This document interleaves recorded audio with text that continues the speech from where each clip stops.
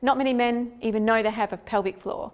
And so one of the aims is to teach all men that this very important part of their anatomy is something they should be familiar with.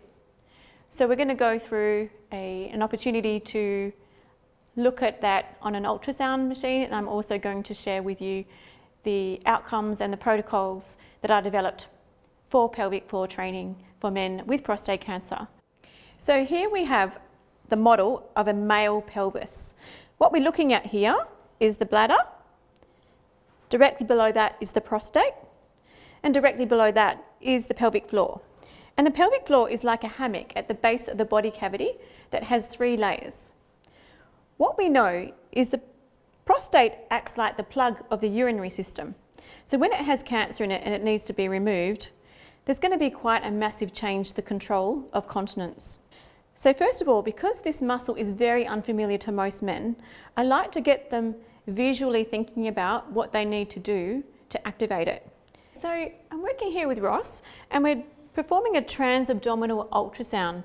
I like this position in particular because it's non-invasive. I don't have to have the patient lying down because really I'm interested in what his function's like in standing. One, two, three, four, five, six, seven. And let go. So he would do those 10 rapid ones as quickly as possible, aiming for one second per contraction or less, with a goal of being eight seconds in total, or 0.8 of a second or faster to be fast enough for the pelvic floor muscle to contract when situations arise where there's that downward pressure. The opposite goal is to see how long you can hold for. So we're aiming for up to one minute. Ross started at 39 seconds which is awesome. A lot of guys, when I initially start with them, might only be able to lift and hold their pelvic floor for three seconds. So another little benchmark for him at home.